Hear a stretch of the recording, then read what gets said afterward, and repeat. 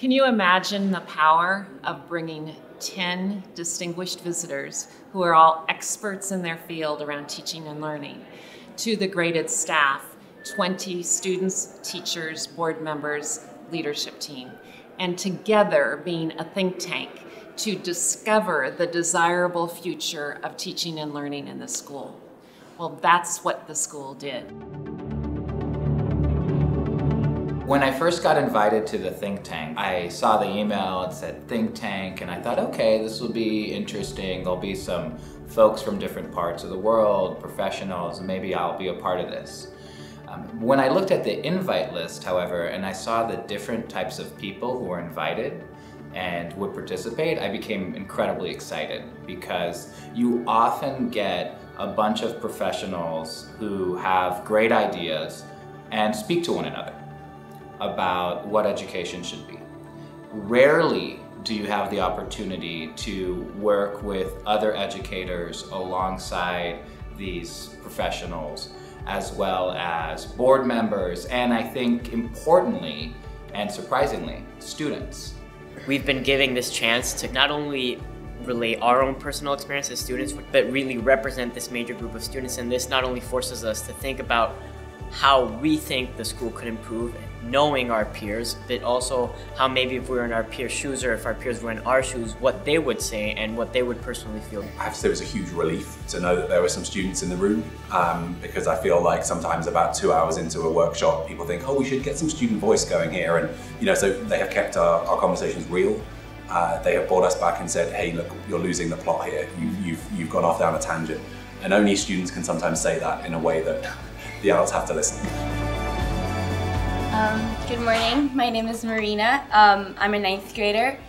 And I think that the think tank is really important for me because um, this is much larger than just me as a student. It's my friends in the hallway, the fourth graders that I tutor. It's about how students are going to learn now and how students are going to learn in the future and how we can make it a reality for everyone to be the best person that they can be and the best student and have the greatest potential that they can reach. To learn from students, to learn from faculty at Graded, to learn from one another and, and bring that together to co-construct an idea of, of what could be in the future was very exciting. So we thought there's no better way than bring some of the most diverse and, and talented thought leaders around the world from your different um, fields and perspectives. So each of you play a critical role, whether it be with inclusive purposes or competency-based learning, um, neuroscience to social emotional learning, um, to design thinking and technology. I'm here mostly because I think that uh, Rich has put together a really good management team, um, uh, teachers and administrators, and I think it, the idea as a board is to try to give him power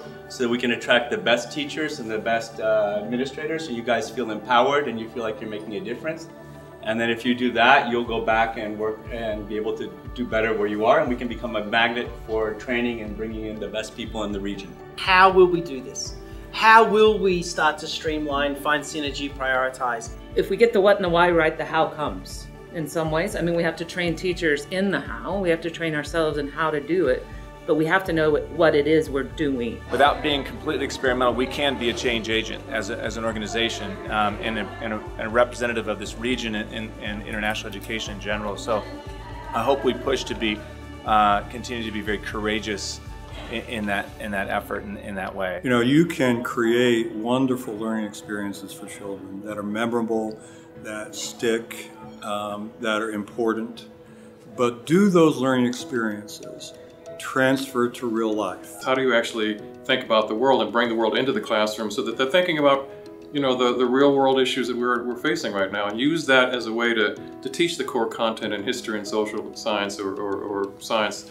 Um, it's, it's really uh, making education an authentic experience that is not divorced from life, but actually is part of life. Education is a naturally creative profession, but it also has a lot of rules and structures. Those, and some of those rules and structures can be positive, but they can also be limiting.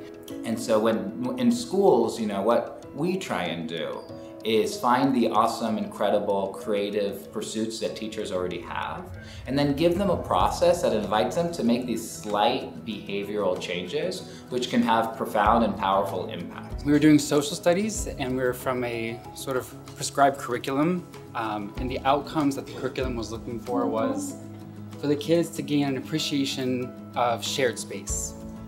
And the kids felt very dissatisfied with our classroom library. So they said, we should redo our library. I said, great, that sounds like an amazing project to do together. So I collected models of pictures of great libraries around the world in classrooms and other places, and we studied them. We created a criteria list of what makes a really great library. And then over the next weeks, the kids did it. They took all of our shelving into the hallway and they sanded down every bookshelf and they repainted them. They brought in materials from home, fabrics and pillows. Some kids worked on regenring and some kids said we need a book display with recommendations and they had all of these things and over the course of a month, they completely transformed this space and they had sort of gotten an idea of what high quality looks like. They collaborated with one another. And then for the rest of the year, whenever anybody, a parent, another kid, another teacher visited our classroom, um, they would run to them and say, like, please come in. Can I show you our fabulous library? Nothing else mattered in the classroom at that point. It was this centerpiece library, and it was um, a really meaningful experience for all of us together a culture of learning, particularly for the teachers, and then moving from the I do to the we do.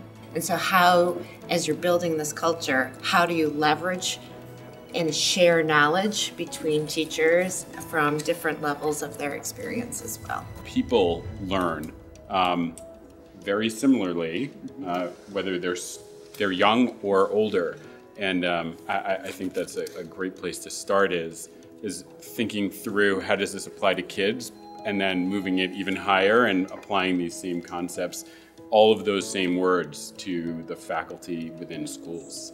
Huge. And then also, what does the graded teacher profile look like? What does that need to be developed into? What does she, he or she needs to consist of? And that gives clarity to our objective when it comes to student learning and teacher instruction. We were learning about the Napoleonic era and the satellite states and I remember that my teacher, he sat on the middle and we surrounded him with tables and chairs. And we each had a paper representing each state, and he was the main member state. So we each gave our paper to him in the center, and he like crumpled everything together to show the influence that he would have on us, the satellite states. So I think that's the best way for me to learn and so from that lesson, I, I, remember telling them no matter what it is, if you have a question about it, you have to question everything in life. No matter what it is. If it's history from years and years ago, question it, inquire, find out more. And it was just really like, like, you know, really touched me. Uh, authentic. I think it's good to have authentic because I think that allows people to actually have a real experience. And I think teachers are going to be better teaching something that they believe authentic and it'll be more agreeable to them uh, positively impact the world. I think that's a great thing. So you're not just there thinking you're learning in an isolated box, that you're trying to do something better and not just for yourself, um, and that has some form. Where I may have a different opinion is that all initiatives need to be meaningful. That I think it's it's okay to try to do things and they can fail. So I don't want to have a bar that's so high that not everything has to work. You know, you can you should have initiatives that may not be there, or maybe not everyone buys in on, and you say, well, I don't agree with it, but why don't you try? So I believe a lot in trying and failing. A big thing we talked about was making sure that changes to the learning curriculum and uh, teachers' responsibilities feel more evolutionary than revolutionary. So, in a sense, helping teachers build upon previous changes rather than each time there's a new change having to break down the way they teach and rebuild it from a new perspective. It would be easier for teachers and for administrators to build upon previous changes. I like evolution and I like revolution, but I also like um, what I will call the baseline. Where is graded today? Where are we today? Um, what are the things that we're doing today that we're doing right and we want to keep it and preserve it and actually protect it from evolution and from revolution? Innovation does not mean doing something new. Innovation means making a change that has an impact. When you have an opportunity to build on what graded, a school like Graded is already doing, um, you have so many of the basics in place um, and you have so many of the, the fundamentals in place uh, for student success um, that what we're really doing is trying to fine tune a beautiful engine.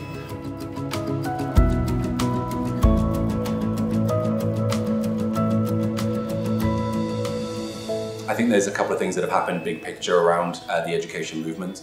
Uh, one is which I feel I feel like cognitive science and our understanding of the brain has really begun to bring us together around how we teach and how we expect educators to work with young people. And we know that that starts with authentic relationships and connections.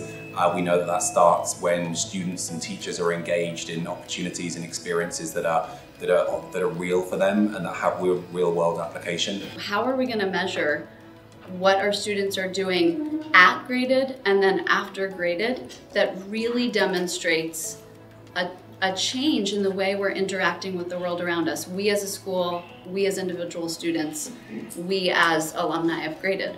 And that's the big shift, really. Um, it's really to create young people who are really competent in this new, and very uncertain environment. There's a word um, that's been coined called VUCA, which is volatile, uncertain, uh, complex, and ambiguous that's the nature of our world. And so if we can create young people who can thrive within that kind of environment, those are the leaders of the future. I was impressed by the number of people who attended the panel discussion yesterday. Mm -hmm. And even like last night, there were a lot of supporters there. I think from a board perspective, what I've continued to hear is that Rich, you and the team have really moved the board along in a positive way where they expect change. But one thing that I'm still unclear of is what are the non-negotiables? There's no following of sheep in our faculty. And that's true of our leadership team as well. And so we still have not come to consensus, I'll, I'll, tell you, as a leadership team about all of this. We have divergent discussions constantly, and, and, at some point that's healthy, but at some point we have to actually land and move forward in one voice. What I hear you saying is you, no one's going to everyone's not going to be happy with the final outcome. But I can't imagine a more transparent and open process of gathering input and listening. So I would certainly hope that going forward you'd have a lot of support and it would be one of those. How do we decide as a school uh, what is the most important set of conceptual understandings and skills and even habits of heart in terms of dispositions and character qualities that we want every child to walk across the stage with and be able to use in their lived life. And it doesn't mean that we create all these cookie cutter kids because you know that's the core. And then they'll have their own experience at grading, you know, different teachers, different classes, different coaches. So when you meet these kids out in the world someday, you know, you might look at them and go, how did you learn, where did that come from? How did you learn that? And you went, well, I'm a graded graduate, you know, that, that sort of thing. And it causes us to focus, to, to uh, say, this is important, and therefore, everything is called backward planning. Everything after that in a school is planned around that, right from the time they set foot on the campus. We don't want young people who are going to be bystanders in the world. We want them to be actual players and, and actors and who have a passion and they want to think through and, and, and do things that are going to be for the common good. Marina created a speech in which her call to action was that her class, the class of 2022, should raise uh, 2.2 million reais to endow in perpetuity a seat for uh, a graded scholar, a scholarship student. And um, it was based on the premise that um, Graded has a moral obligation to increase the socioeconomic diversity of our student body. And when Marina gave her speech for the first time, she not only moved others, but she was so moved by her own call that she was weeping. I mean, it was clearly something that she felt deeply that it will always stay with her and that in fact she continues to work on we met about it a few weeks ago that it's like it's a project for her now. And so that for me was like there's a student who takes her learning and makes it relevant and real and it's about her life. What are these core ideas or core values that we have that we really are the most important to us instead of just putting too many and like overcharging us with it? Students are so different. When they come from diverse backgrounds when they carry different uh, nations, colors, languages, and then they find themselves in one place. It's a very difficult challenge. I think one point is to acknowledge that you don't create diversity on those conditions. Diversity already exists. When we design our curriculum to the edges, we meet the needs of all learners. So what strategies have traditionally been reserved for students who are struggling? How can we bring those into our gen ed classrooms rather than reserving them for learning support to meet the needs of, of all learners? On the create list, the thing that's most impactful to me that I think is really around learning, learning science, metacognition, that kind of action happening intentionally and well trained by teachers and well demonstrated by students. That could happen effectively soon. What does it mean to walk across the stage at graded? Meta learning, which is exactly the fact that you, you have a learning experience or you're engaging in a learning experience and you're asking yourself questions. There's this interior dialogue, you know, thinking about your thinking. Why am I doing this? Uh, is there a better way to learn this? What's the purpose of this? You know, do does this task I have, is there anything in my prior knowledge that I can bring forth to that? Those are all questions a really effective learner needs to ask as they learn. That needs to be taught. I mean, that's part of, besides homeo, I'm a science teacher, homeostasis and chemistry, is that learning about their own learning. This is graded. This is our personality as a school, as a student body, and as a community. And these are the choices that we're gonna make. And uh, I don't think we will solve everything and create the new graded in these two days, but we will be able to have um, a focal point which can lead to, I think, a very strong and progressive direction. Isabella Peixoto Kanda, Brianna Otto, David Bethany Celestine Jesus, Benedita Richards Sara Isabella Daniels.